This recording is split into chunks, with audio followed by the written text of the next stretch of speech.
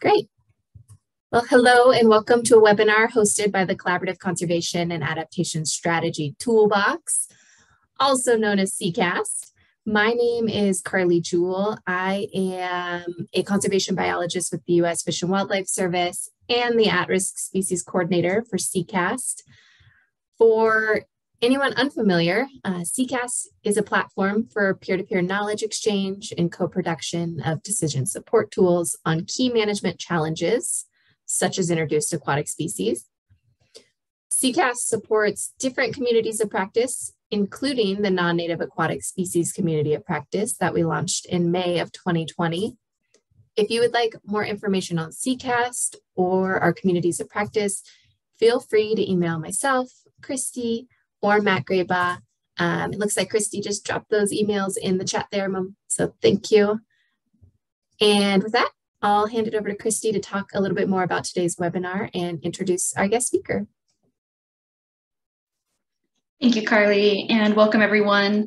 Uh, for those I don't know, my name is Christy Miner. I am the coordinator for the Non-Native Aquatic Species Community of Practice here at CCAST. Webinars like this are just one way that we facilitate peer-to-peer -peer knowledge exchange. And today we're very excited to host a presentation from Scott Durst, who will talk about managing non-native fish in the San Juan River. Scott works for the U.S. Fish and Wildlife Service as the science coordinator for the San Juan River Basin Recovery Implementation Program. This recovery program is a collaborative effort to recover Colorado pike minnow and razorback sucker while water development occurs within the San Juan River Basin. Again, just a final reminder before I turn it over to our presenter, if you have questions during the presentation, go ahead and enter those into the chat box and we'll relay those to the speaker after the presentation uh, if we have time. And with that, Scott, I think we are ready for your presentation. So take Great. it away. Thank you, Christy. Thanks, Carly.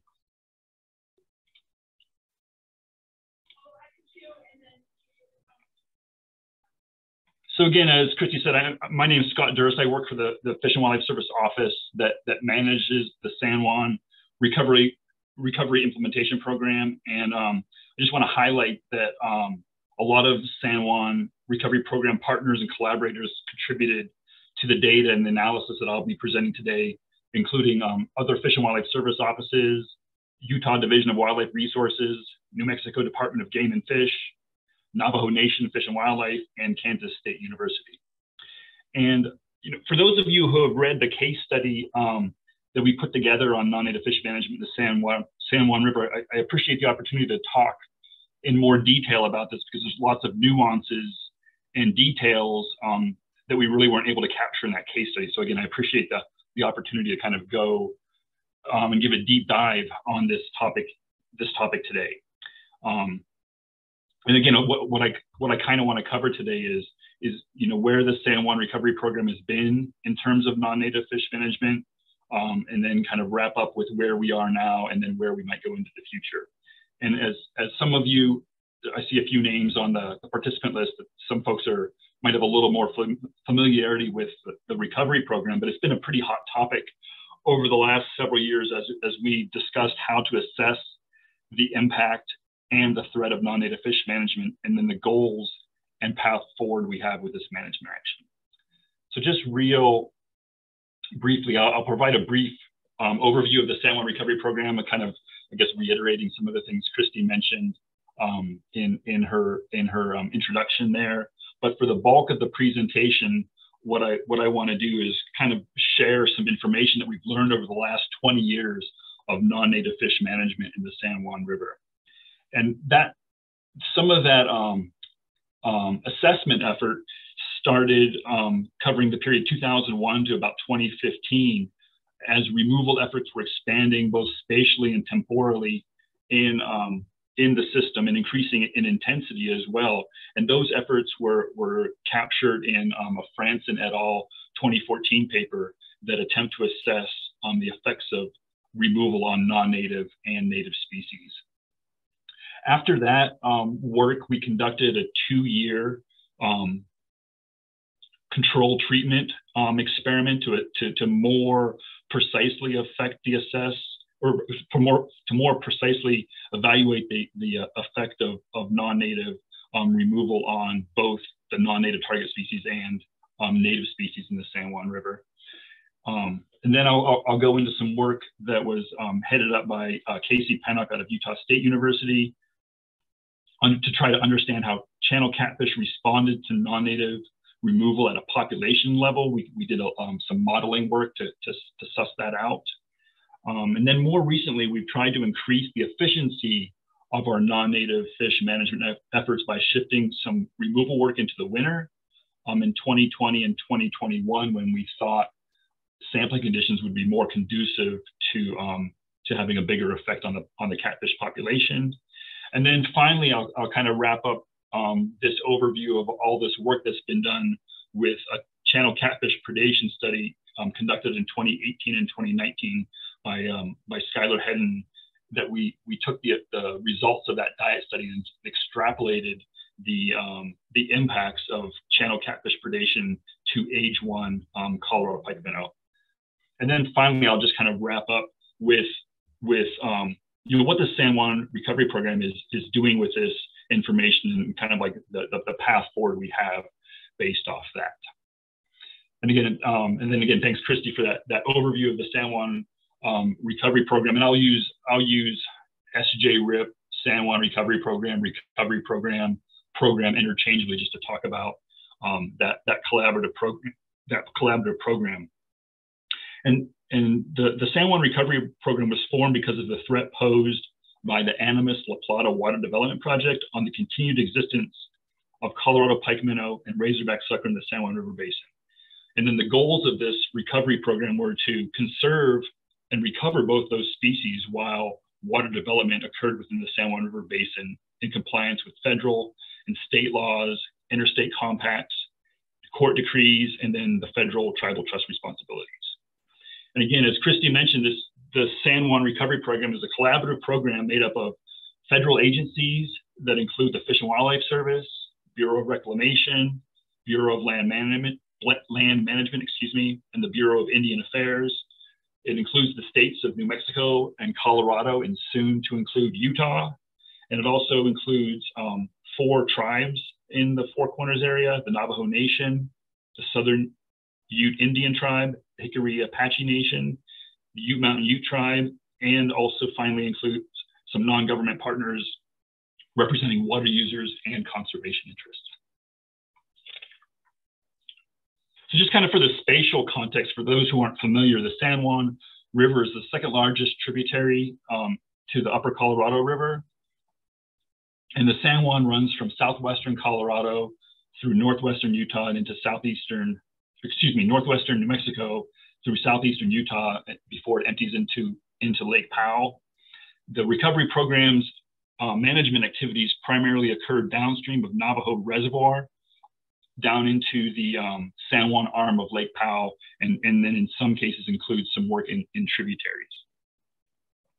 The recovery program has conducted lots of research, monitoring, and management activities over the years, but it has four major recovery um, actions to promote um, recovery for the endangered fish.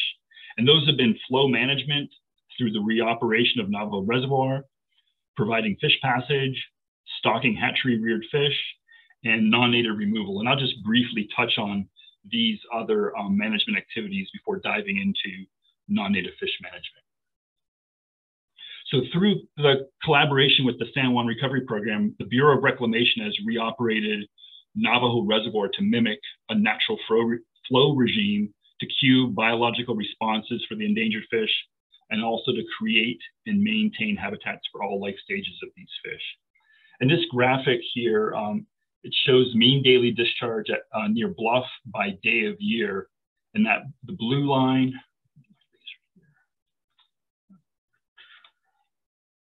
The, the blue line uh, represents the hydrograph uh, pre-dam. So again, low base flows characterized by, by high spring runoff um, was typical of, of a lot of these, these rivers in the Southwest pre-dam.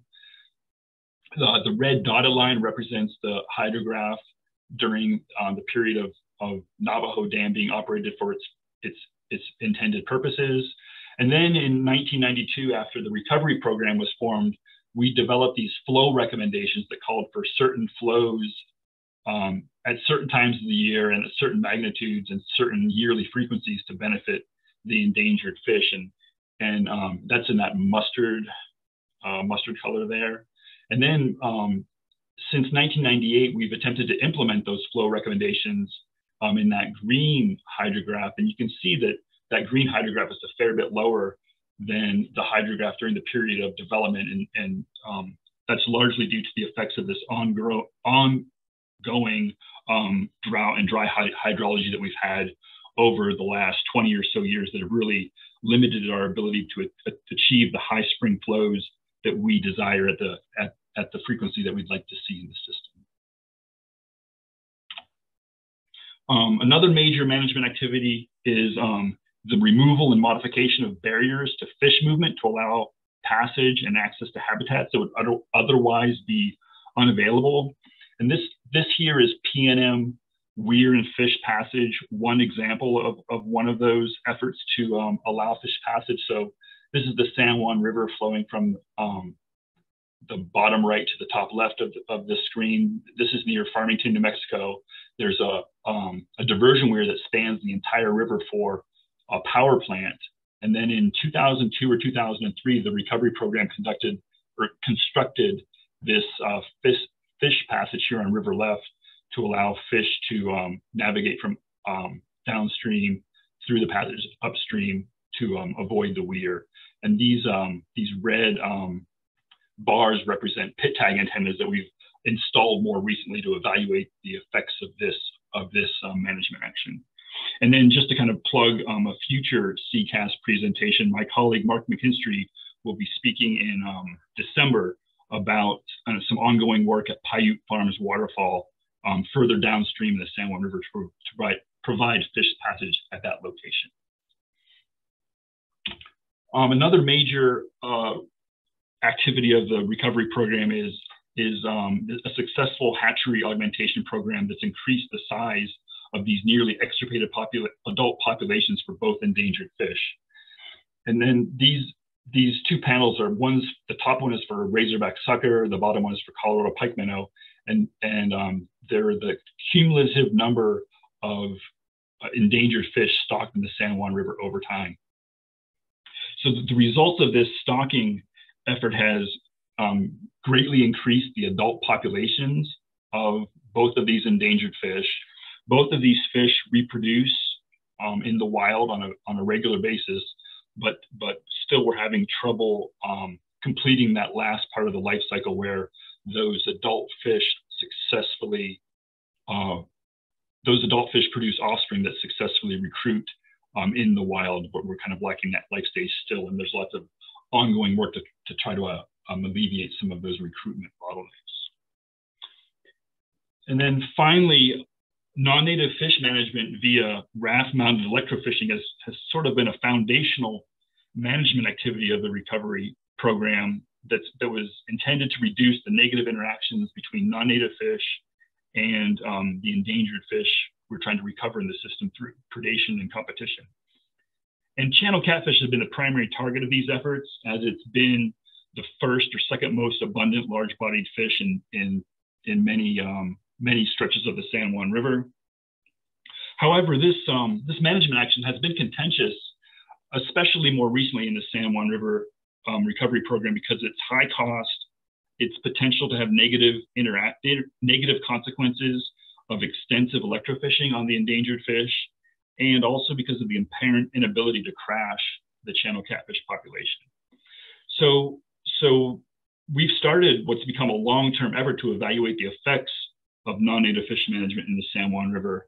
And then what I'll, I'll spend the next oh, handful of slides going through is kind of provide an overview of publications and reports that cover the recovery program's efforts to assess its non-native management efforts, um, re some research on the response of natives and non-natives to that management, and then kind of wrap up with some predation impacts of channel catfish.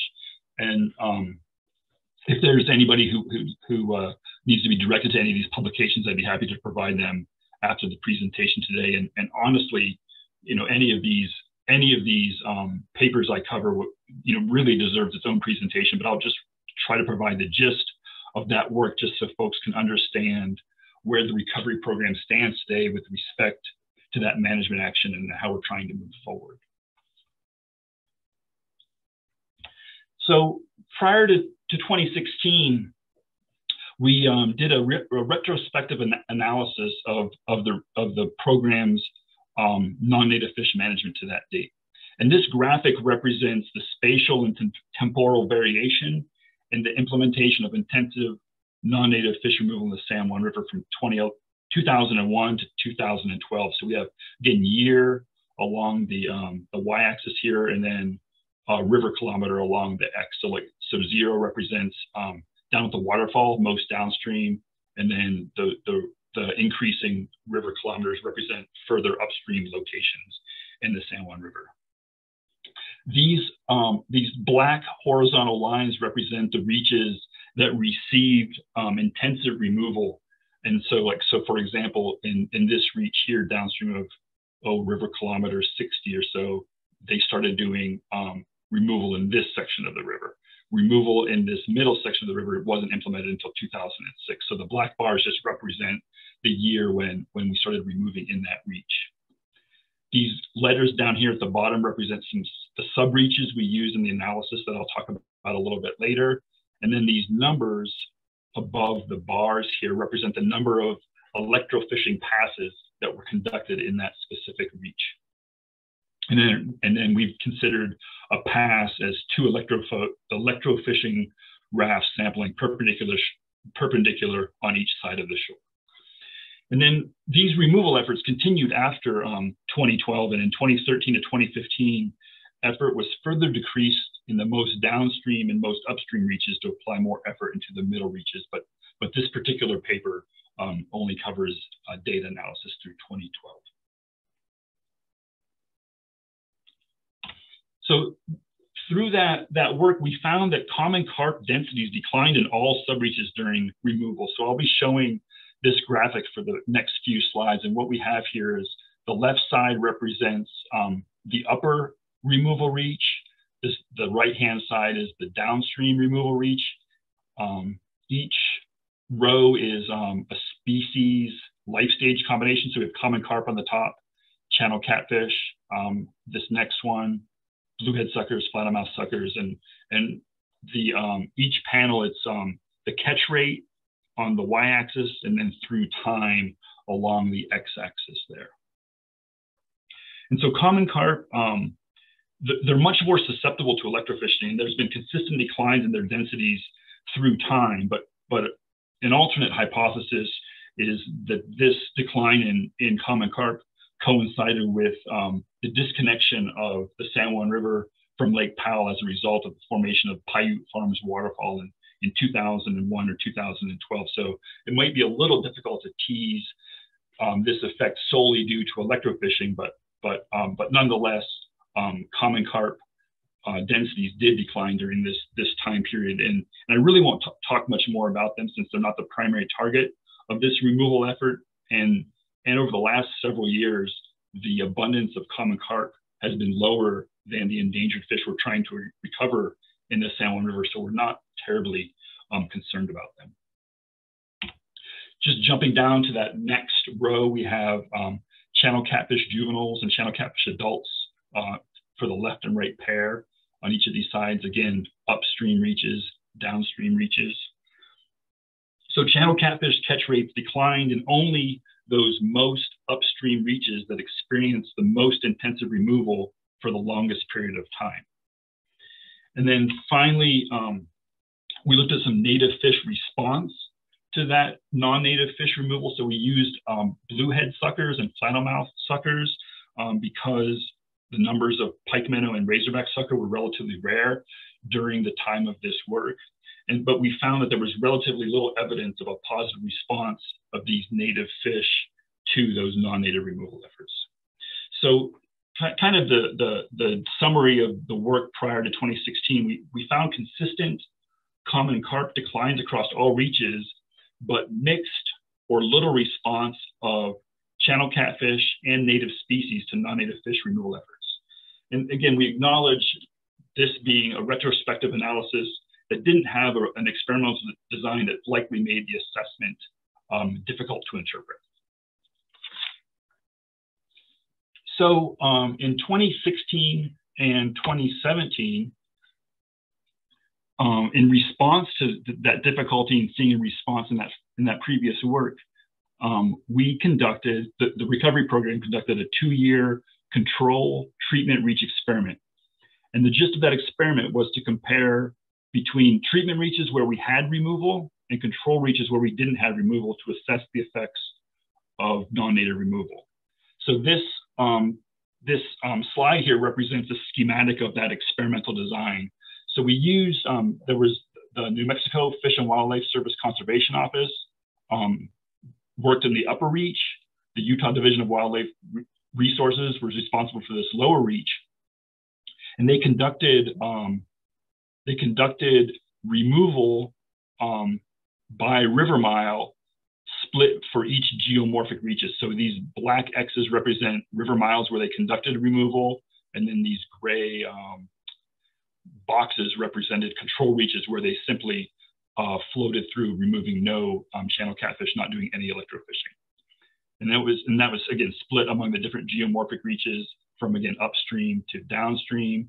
And then these red um, dots represent the, the fall monitoring effort we used to assess the um, impact of that removal versus control in every single river mile.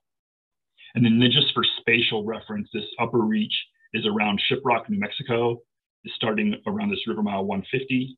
And then this lower end is around Mexican Hat, Utah, around river mile 52 or so. So channel catfish were significantly smaller in removal reaches compared to control reaches. So these box plots here by those geomorphic reaches, you know, most upstream to downstream from five down to two, split by um, removal reaches and then control reaches. So these box plots represent the, um, the size distribution of channel catfish in those river reaches. And this is just for 2017. And in 2017, we had significant and consistent declines in, in um, the size of channel catfish through time in the upper reaches. And, and I neglected to point out in that earlier slide that the upper reaches received more removal effort than those lower reaches. So that's why we had to analyze those separately. So again, we had significant declines in size through time in 2017. And also we compared to, to, to really tease apart the effect of what the removal was doing. We compared the last removal pass and the last control pass, on the, the size of channel catfish in those in those two sampling efforts. And in 2017, we saw um, in four of the five removal reaches compared to the, their paired control reaches, there was significantly smaller um, size distribution of channel catfish. Um, in 2016, we didn't see any differences. And, and, and then again, the, the, the, graphic is just showing 2017. There were no differences in 2016. And we think that was due to the a higher rate of movement um, that occurred in 2016 that I'll get into in just a couple slides. Also, we found that removal rates were too low to demonstrate an effect on channel catfish catch rates or abundance. So these, these graphics um, are, are representing um, just, these are just the upper reaches. So we have the reaches across the, uh, the y-axis here reaches three, four, and five from downstream to upstream. And the, the y-axis re represents the change in CPUE, that's catch per unit effort, between the first pass and the last pass for each river mile. And the, um, the, uh, the squares and then circles here represent the um, year um, treatment combination. So 2016 control and removal in this in the gray and black squares, 2017 control and removal in the um, in the gray and black circles.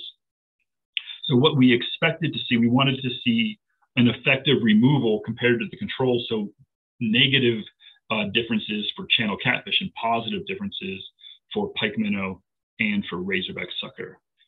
And then we found um, there was no effective removal on catch rates for channel catfish and Colorado pike minnow in those upper reaches, but a slightly negative effective removal for razorback suckers, co contrary to our, our desired outcome.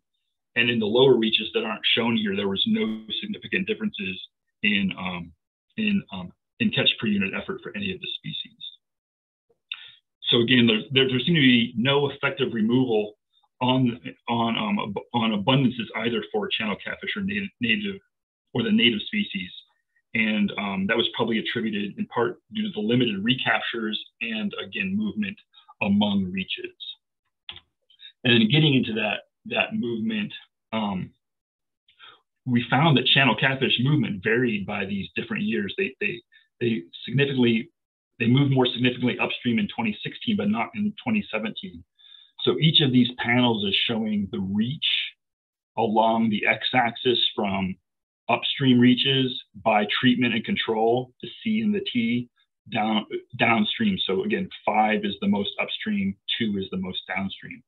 And then the, the y-axis is representing the rate um, of movement between the initial marking event of those channel catfish and sub subsequent recaptures of those fish. So again, as, as I mentioned, there was a greater rate of upstream movement in 2016, but 2017, we saw pretty limited movement overall, meaning that the fish were recaptured in the same reaches where they were initially marked.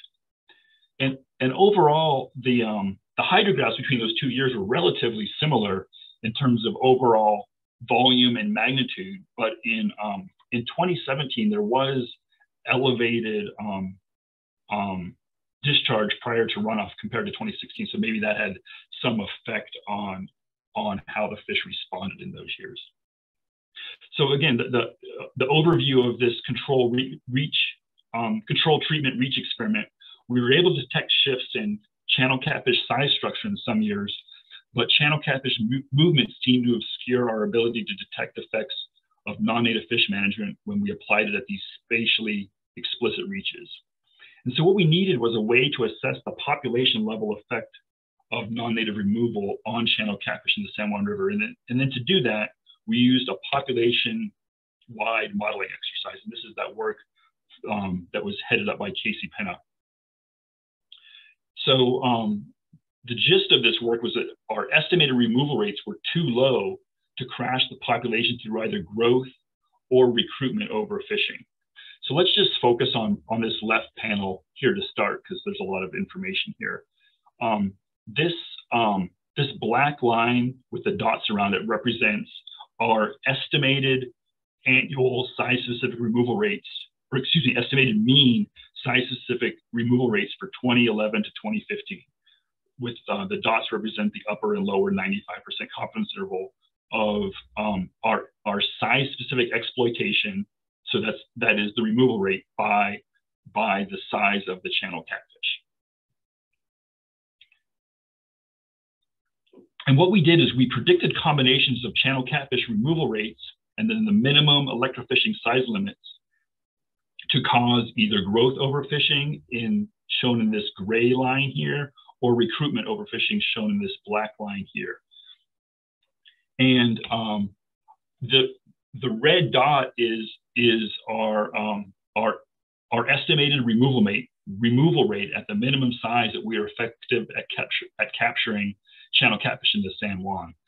And simply these different panels uh, represent the natural mortality of channel catfish in the system, which a number we didn't know, so we just estimated that a 15% annual mortality up to a 25% annual mortality. But but nonetheless, at our estimated um, minimum size um, effectiveness removal rate, we were below growth and recruitment overfishing. So we're, we're, we were not applying enough um, enough effort to increase the exploitation of, this population to cause um, overfishing.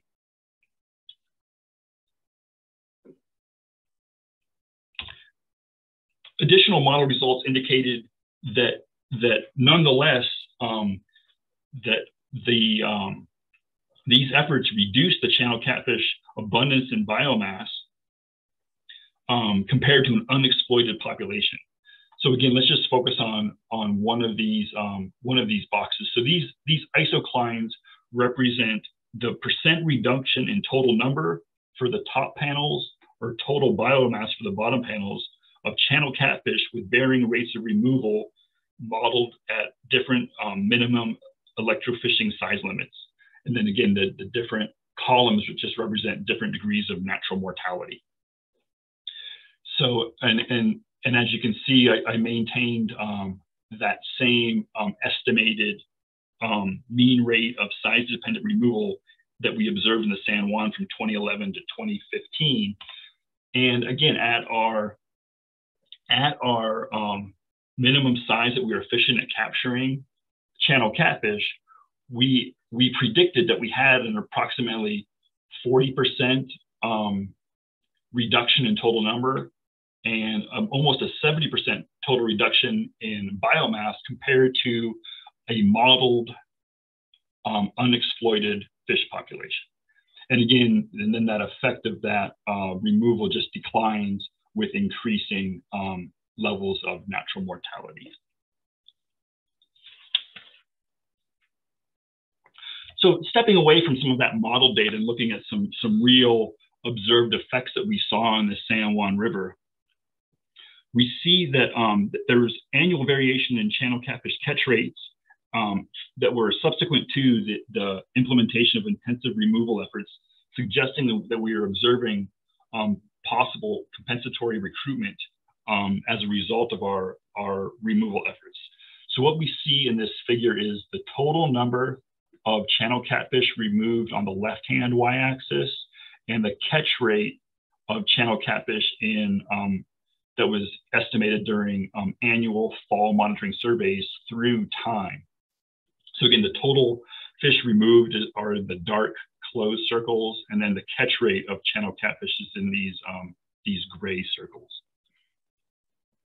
So um, again, this variation, this, this high level of variation in, in catch rates and number of fish removed followed the intensive um, implementation of non-native removal efforts through um, a larger section of the San Juan River after 2007 or 2008. Also, but uh, um, another thing we were able to see from our our um, our observed data was that that observed removal rates um, resulted in a reduced channel catfish length and mass over about um, over about a a 25 year period from 1991 to 2015. So these box plots are the observed channel catfish total length in the top panel. So total length um, by time, and then mass of individual catfish um, in the bottom panel through time.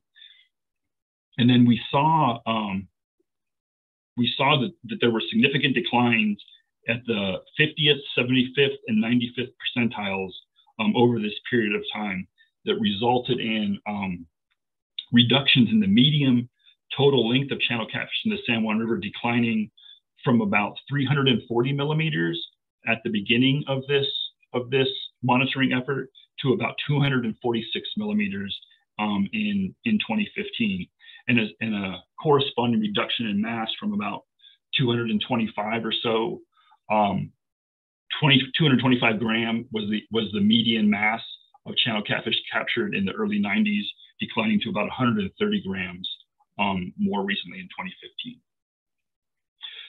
So all this, this modeling effort, it, it, it showed us that exploitation at our observed rates wasn't likely to crash the channel catfish population, but it was having a significant impact on the size structure and the biomass at the at the removal um, intensity that we were applying.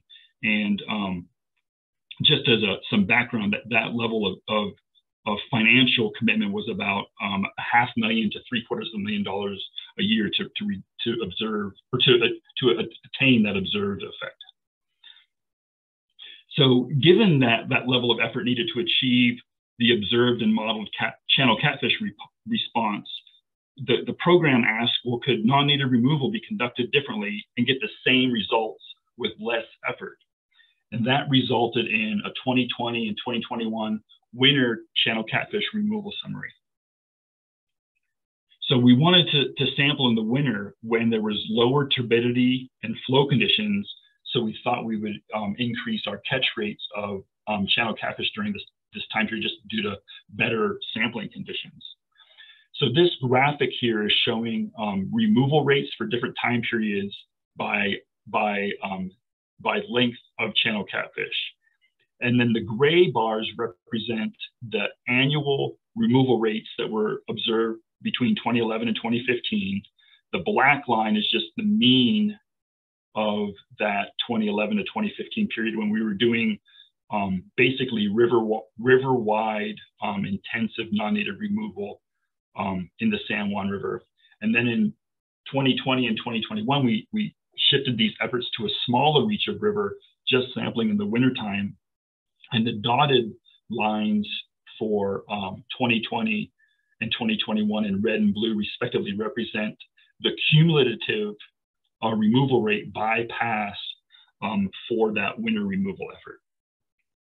So we, we, we see that, that that effort didn't match what we were doing in 2011 to 2015, um, leading to the conclusion that additional passes were needed in the winter to achieve removal rates that we observed um, from 2011 to 2015. And, and uh, the, one of the take homes from this was that the, the winter removal, the, the environmental conditions probably weren't as favorable as we initially had thought they were, given that the water wasn't as clear and flows weren't as low as we anticipated when we were sampling um, in these two years. So to date, the focus of the recovery program's investigations have really been on um, the effect of non-native removal to channel catfish and native fish. But for the recovery program to be efficient in its recovery efforts, it, it wanted to, we, the Royal We, wanted to conduct our, our non-native removal efforts commensurate with the threat of non-native fish. So to do that, we conducted um, um, a diet study. Skyler Hedden conducted a diet study in 2018 and 2019. And what he was able to do was determine the incidence of fish species and size of, of prey items for channel catfish in, in over 4,000 channel catfish stomachs. And he was able to estimate the total biomass and number of individuals consumed by channel catfish, including consumption of Colorado pike minnow, highlighted there in, in the red. And, and so this work did provide an indication of the threat that channel catfish were posing on Colorado pike minnow. You know, it wasn't zero; they were eating some. We needed to we needed to evaluate how this threat was affected by the San Juan Recovery Program's um, non-native fish management efforts. So we did some modeling and some extrapolation to estimate the annual mortality pike minnow of pike minnow that was caused by channel catfish predations using the um, the, the data from the, the Hedden et al. 2020 study. So we took all the important factors that Hedden identified, like temperature and turbidity, um, affected both um, the number of fish and the amount of fish that that channel catfish would consume. Um, this relationship is size specific, so larger channel catfish um, eat more um, fish. Um, and th this would also be affected by um, the number of the number of um, channel catfish represented in the system. So, we, so we built a model that represented a range of, of possibilities. So we started off looking at the temperature crossed with the turbidity in three different years. So we crossed the temperature of, of each year with the turbidity of each year as well to create nine different environmental scenarios. To represent um, a, an unfished, an, um, an unexploited channel catfish population in the San Juan River, we use the size structure of that fish before the implementation of intensive removal. Um, so we use a size structure that was represented by this population from 1991 to 1995, and then to represent the size structure of this population following exploitation, we used the, what that population looked like from 2013 to 2017. So, so that's represented by these um, these two lines showing the relative size structure of the black is the the exploited or fished population of channel catfish, and the red is representing that that channel catfish population that, that wasn't being exploited. So there's two different, there's an, a fished and an unfished scenario. And then we wanted to look at, at um, how that how that was influenced by different size channel catfish populations. So we used the upper 95% channel catfish population from, from 2018, and then the lower channel catfish population estimate from 2018 to, to come up with um, here's, here's what the scenario would look like at a high channel catfish abundance or a low channel catfish abundance that was applied to both the fish and the unfished population. So again, the the the red line, the the red line from the this previous panel is the unfished population, and then, then simply the two lines here represent that size structure at um, a high abundance and a low abundance. And similarly for the black, that's uh, representing the unfished population. So this resulted in there being, um, gave us the ability to predict the number of age one Colorado pike minnow consumed across 36 different um, environmental um, er, across nine different environmental scenarios with, with two different size structures of channel catfish at two different um, population estimates. And that resulted in, this, in the, the result of that work is represented in this graphic here, where along the y-axis we have the number of pike minnow consumed across the different combinations of temperature.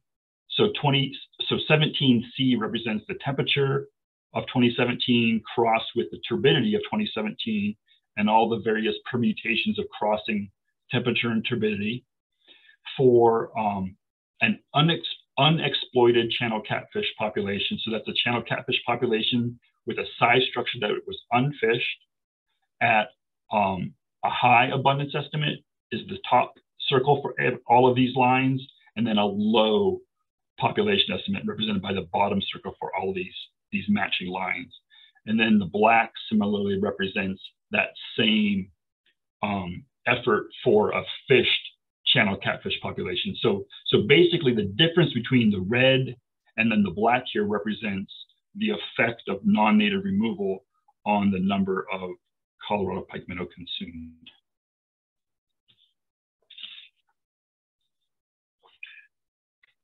So we had an indication of how many pike minnow were being consumed, but um, but that but but what effect did that have on the population? Well, to know that, we needed to have an estimate of how many Colorado pike minnow um, are available prior to that predation. And we really didn't know that, but so we had to make a guess. So we, we had abundance estimates for age one Colorado pike minnow, but they always occurred um, late in the year after predation would have already happened. So these these weren't representing the number of fish that were available prior to predation. So so we just made an educated guess and and took this mean estimate of about a thousand and and and uh, quadrupled it. You know, suggesting maybe 4,000 was a reasonable um, start for the number of age one fish that were that were available in spring prior to predation occurring so again, this so given that this this um, if we combine the results of the previous slide with um, these results here, of the number of catfish available, we have the pr proportion that were consumed by channel catfish predation um, estimated in a few different scenarios given the number of fish available in the system. So again, the red lines represent um, an unexploited catfish population with high abundance and low abundance, and then the black represents an exploited channel catfish population at high and low abundances. So again, the difference between the black and then the red lines is the is is kind of the effect of non-native removal. And an important realization when we came up with came up with this is that it seems, at least through this modeling exercise, that the number of um, of Colorado pike minnow in the system sort of mediated the effect of what that predation uh, was doing to that population. So when the pike minnow population is low, the effect of predation is very high. But when the pike minnow abundance is very high, the effect of predation is relatively low. Now, granted, this approach had some limitations.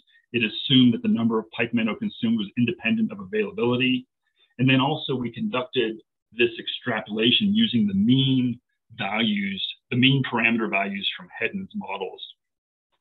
So we revised this model to account for uncertainty around um, parameter estimates. And, and, Matt Zeigler was really helpful in helping us um, conduct this modeling exercise where we accounted for parameter estimate uncertainty. But what it basically allowed us to do was to redo that whole modeling exercise, but accounting for for more stochasticity in the in the system, and and we thought produced um, perhaps more realistic numbers for us. And the gist of, of redoing that modeling exercise is sort of summarized in this box plot here, where we have this difference. So this these box plots represent the difference between the number of fish consumed in a fished versus an unfished scenario. So we call that the number of fish that were saved by doing removal across um, a few different um, scenarios. Um, the high means a high channel catfish abundance. And then the, there's two years here that represent extremes of temperature and turbidity that we put into that model. So we, we plotted that similarly to that other graphic, showing again how the proportion of fish consumed varied, excuse me, through um, the number of age zero fish that were available um, in the system. And again, we're, we're, comparing the two models here. So the, um, the solid lines, um, the solid lines represent the results of um, model one.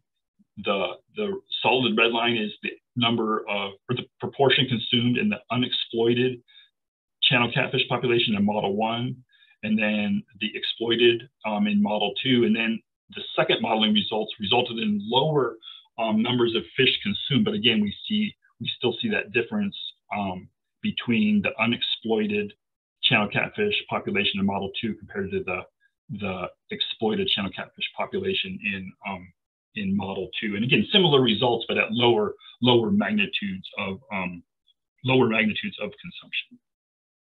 So there's been a lot of ongoing discussion within the recovery program about, about the modeling approach, the predation study, and also non-predatory effects of channel catfish um, on the population um, that, that, results in lots of different opinions about, about this management action um, among reco recovery program participants. So, so, so what is the recovery program doing um, given this, this synthesis and the presentation of this information? So, well, one thing that we're doing is since a non-native fish symposium that was held about a year ago, the recovery program has decided to take a, a, a break from its typical non-native fish management efforts. So, so it was able to devote um, effort to increasing the efficiency of um, that management action, increasing the exploitation on, um, on channel catfish. So what it's doing to get at this is, you know, first of all, can others experience with channel catfish management or data we've already collected improve our efficiency? So, so to address that, we're funding a literature review and data synthesis. Um, secondly, can we focus our channel catfish efforts at a certain time of year or in a particular place of the river to improve efficiency? So to address that, we started a telemetry-based project to evaluate channel catfish spatial and temporal spawning patterns with hope of identifying the Achilles heel for future management efforts. And then um, finally, like, are, are, there novel approaches that we can use to help crash the channel catfish population in the San Juan River? So we've we've um, we've begun discussions to explore using a Trojan Y chromosome approach with the goal of skewing the population sex ratio to male that would result in eventually collapsing the population. But, but granted, we're in the very early stages of this, and it would require the development of a YY male broodstock and also long-term commitment. Another thing that we came away uh, came away with is because the, the impact of channel catfish predation on Colorado pike minnow, um, it's also dependent on the pike minnow side of things. So it seems like when there's more pike minnow out there, the effect of that predation would would necessarily be lower. So we've made some changes to the the Colorado pike minnow augmentation plan.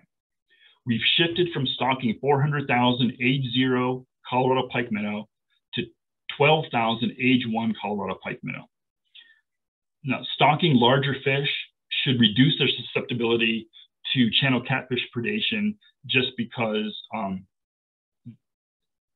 channel catfish are, are gape limited and age one fish, older fish would only be consumed by the by the the, the, the greatest sized um, Colorado pike minnow in the system. So we, we, we think we would reduce the predation um, happening there. Another thing stocking older, larger Colorado pike minnow allows us to do is to implant them with a pit tag prior to stocking. That allows for two things. So we can distinguish pit tagged stocked Colorado pike minnow from wild spawn conspecifics. That's something that we've not been able to do to date. And it also allows those fish to be uniquely identified from the hatchery. So that allows us to be able to conduct hatchery enrichment experiments with control and treatment fish to hopefully increase the survival of these fish post-stocking. And we've conducted some other work with Razorback Sucker that have found um, flow conditioning doubles the first year survival of those fish. We're optimistic of similar results for recently stocked flow conditioned age one, age one Colorado pike minnow in the system. Um, additionally, um, hatchery space is pretty tight these days, so we're, we're, we're exploring some experimental ways of trying to increase Colorado pike numbers in other ways, such as stocking eggs and larvae. And we conducted a pilot study to stock larvae this um, last spring, but we're still waiting for those results to come in to see if that was an effective um, technique. Now, I mean, honestly, at this point, you know, we really don't have a clear path for how we're going to proceed with non-native fish management at the conclusion of this hiatus that we've we've implemented. You know, there's there's partners that have expressed um, expressed concern that the future is going to depend on the outcome of what we learned during this hiatus. And you know, some people would be happy to return to business as usual, but uh, you know, I don't think that's likely given the cost and then lack of effect we've shown to date for managing this species. You know, we, we could also implement some new strategies, but it's going to depend on the cost and efficiency of those strategies. So we'll have to kind of see how, how some of these other research efforts pan out before making those decisions. And then finally, um, if recent changes to the augmentation um, efforts results in increased abundance of Colorado pike minnow in the system in the absence of non-native removal, we, we could make a decision to abandon the effort altogether. Uh, the recovery program has really struggled to reach consensus on the magnitude of the threat posed by channel catfish or come to a conclusion about what we can do about that threat. So it's really it's really hindered our ability to come up with what is the goal of this management action in the San Juan River.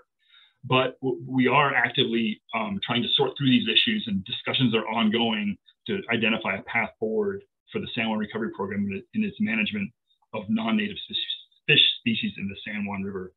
And um, with that, I'd like to say thanks. And if there's time for any questions, I'd be I'd be happy to try to address those.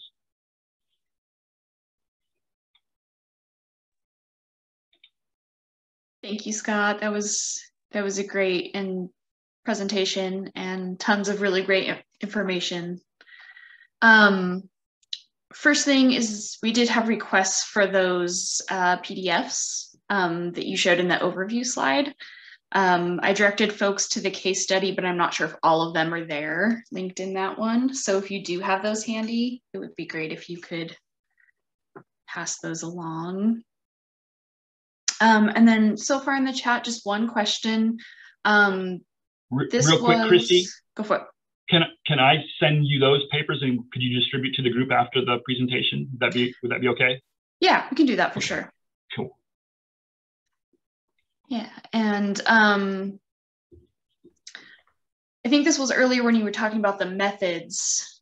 Um, does that mean that smaller fish are more susceptible to electrofishing? And what were the largest fishes found? And Bradford, if you want to clarify um, any of that, feel free to jump on.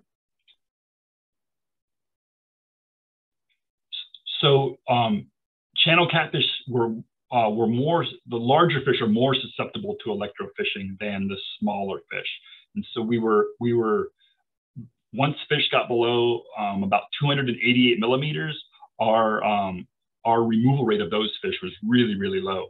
But we're we're reasonably effective at removing large fish. But again, there's so many. There's so, you know little fish become large fish. We we're, we're good at hammering big fish, but that just creates seemingly creates more um, more small fish out there.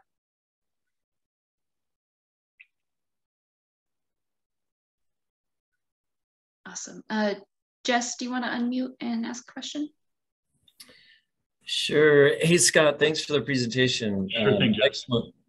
Um, quick question on the diet study. So I may have missed it, but I didn't see any diet um, study results for consumption of Razorback sucker.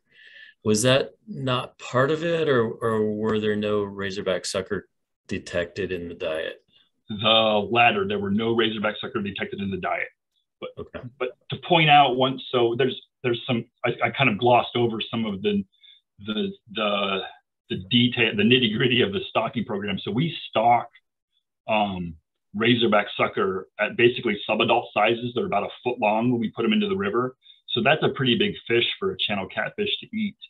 Um, and then again, we we we we we document reproduction of razorback sucker pretty regularly, but we but there seems to be a bottleneck between the larval and the juvenile life stage. And you know, if channel catfish are eating um, larval fish, like that might be pretty tough to detect in a in a diet study. But nonetheless, um, we we didn't pick up any razorback sucker um, in in those four and a half thousand channel catfish stomachs. Okay, thanks. Sure thing, Jess.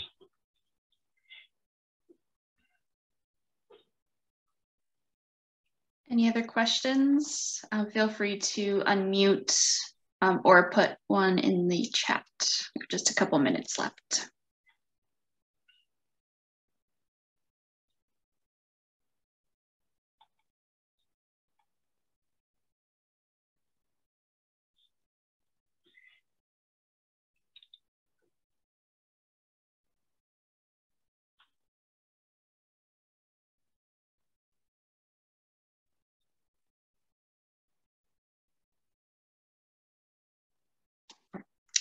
Uh, question just came through in the chat. Uh, do you remove other species, um, or does the program remove them as they find them?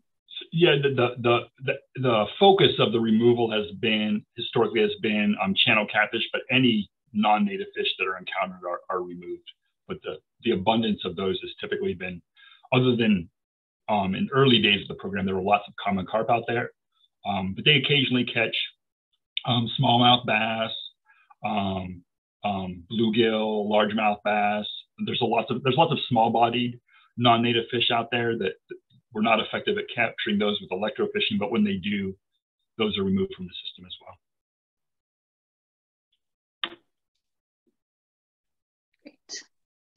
Um, and Scott, I don't know if you're if you're looking at the chat at all.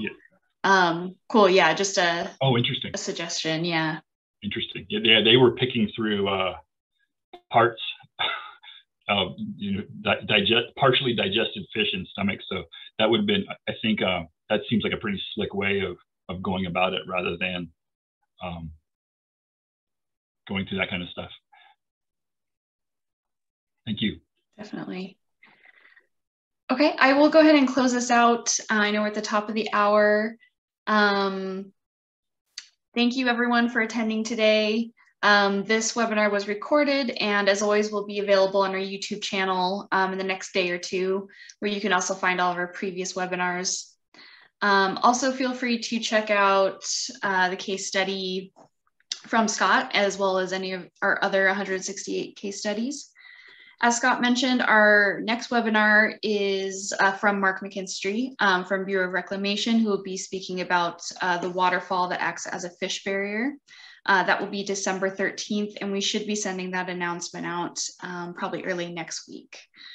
Um, if you aren't already on our mailing list and you want to receive these announcements, um, please just let me know and we'll get you on the list.